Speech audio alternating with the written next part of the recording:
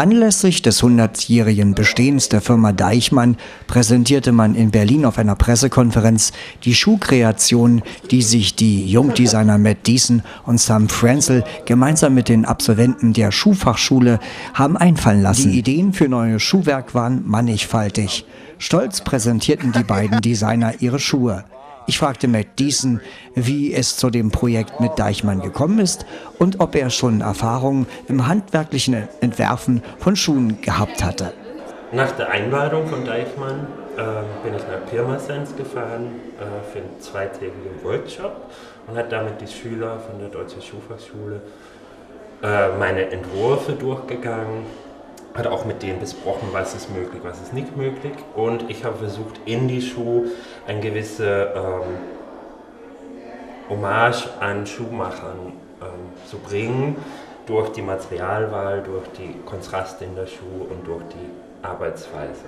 Wenn man vorher noch keine Schuhe äh, designt hat, wie mhm. geht man dann ran? Weil die müssen ja nicht nur schön aussehen, sondern auch, auch noch passen. Ja, also da habe ich ja Glück gehabt, dass die äh, Schüler mir geholfen hat. Die haben da Expertise und Erfahrung, was äh, mir sehr geholfen hat. Und ich könnte mir dann hauptsächlich nur um die Form und die Silhouette der Schuhe konzentrieren, die Materialien.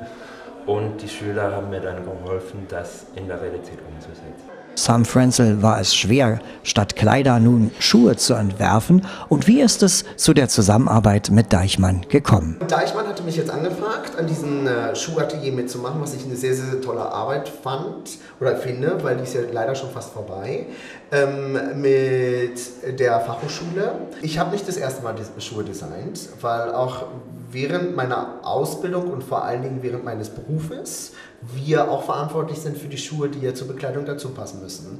Ähm, also neu war mir das Thema nicht und als Designer ist ja eigentlich die Aufgabe, die eigentliche Aufgabe. Am Ende ist es egal, ob es eine Hundehütte ist oder ein, ein Vorhang.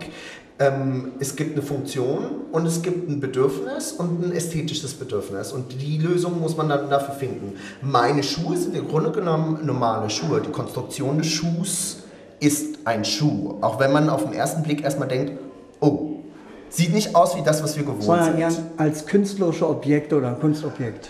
Das sehen Sie, weil die Frauen, in, die bis jetzt alle heute hierher gekommen sind, äh, während der Präsentation, finden alle diese Schuhe gut und wollen sie sofort anziehen. Also, was Männer sehen und Frauen sehen, sind immer zwei unterschiedliche Schuhe. Das mag Schuhe. sein, aber mhm. die einen hohen Stiefel, da denke ich mir, und da kommt man fast überhaupt nicht rein. Das ist natürlich sicher sehr schwierig drin zu laufen. Ist eigentlich das komplette Gegenteil. Gerade weil der Schaft so weit ist, kommt man viel leichter rein als normale Stiefel.